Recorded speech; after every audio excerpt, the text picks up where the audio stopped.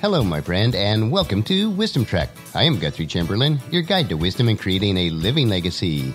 Thank you for joining us for our five day per week wisdom and legacy building podcast. This is day 528 of our trek, and today is Philosophy Friday. Every Friday, we will ponder some of the basic truths and mysteries of life and how they can impact us in creating our living legacy. Currently, we are on an extended multi week trek as we explore the teachings of some of my virtual mentors, such as Jim Rohn, Zig Ziglar, and Earl Nightingale. The core of the current trek is based primarily on Jim Rohn's book, The Five Major Pieces to the Life Puzzle. I have learned a considerable amount from reading and rereading this book on my own trek of life, and I trust that you'll benefit from it also. Keeping with the continuity of Wisdom Trek, I have adapted it to The Five Trails on Life's Trek. We are broadcasting from our studios at the Big House in Marietta, Ohio. When this day originally airs, I should be wrapping up my week in Arizona.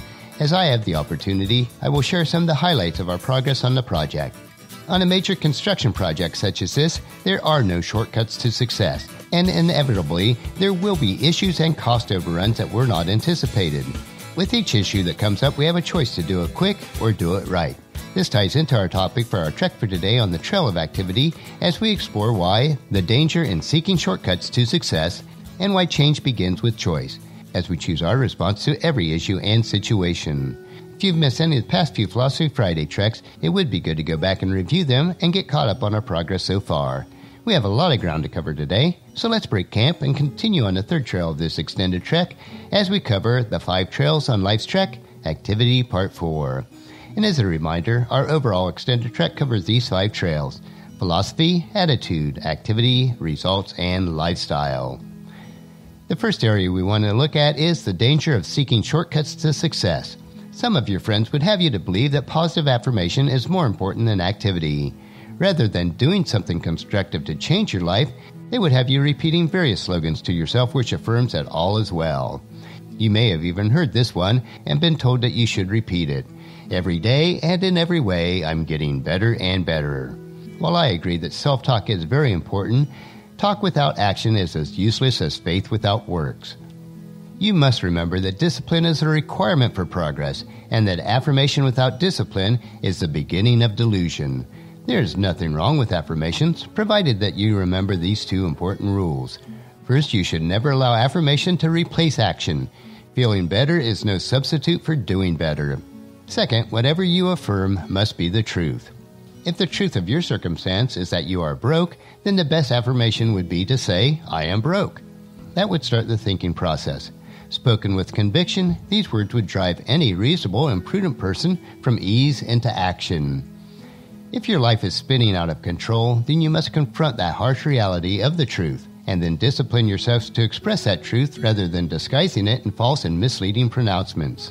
By doing this, it will be the beginning of a positive change which will inevitably result in action.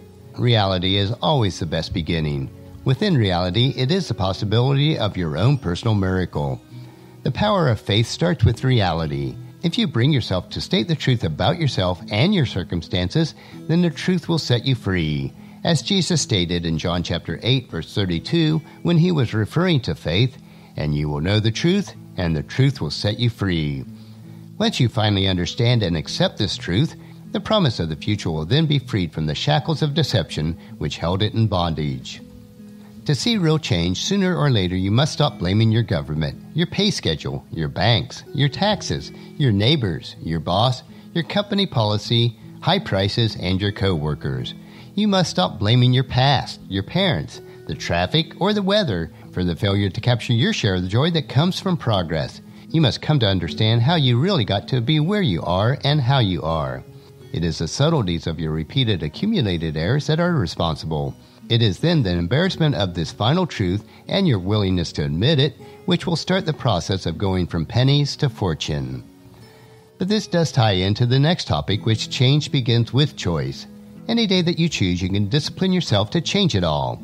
Any day you choose, you can open a book that will open your mind to new knowledge. Any day you choose, you can start a new activity. Any day you choose, you can start the process of life change. You can do it immediately, or next week, or next month, or next year. You can also choose to do nothing. You can pretend rather than perform. If the idea of having to change yourself makes you uncomfortable, you can remain as you are. You can choose rest over labor, entertainment over education, delusion over truth, and doubt over confidence. The choices are yours to make. While you curse the effect, you continue to nourish the cause. As Shakespeare uniquely observed, the fault is not in the stars, but in ourselves. You created your circumstances by your past choices.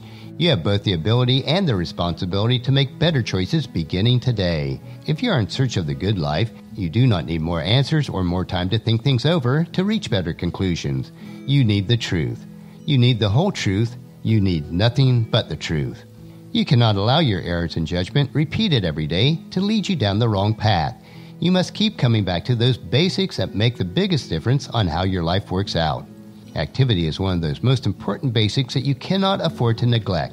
As Proverbs chapter 16 verse 3 tells us, commit your actions to the Lord and your plans will succeed. We are deliberately taking our trek slowly on the five trails on life's trek as we continue to hike on the trail of activity. Today we learned the dangers of seeking shortcuts to success. There are none. We also learned that if we want our life to be different, then ultimately it is our choice.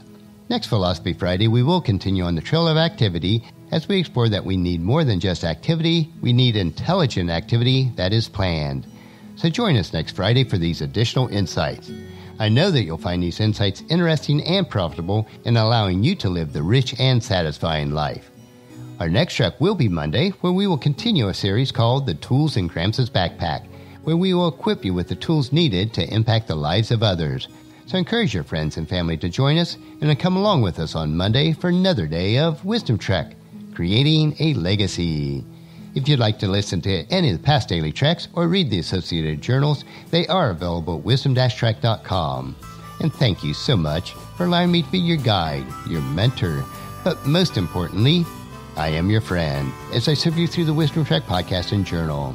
And as we take this trek of life together, let us always live abundantly love unconditionally, listen intentionally, learn continuously, lend to others generously, lead with integrity, and then leave a living legacy each day.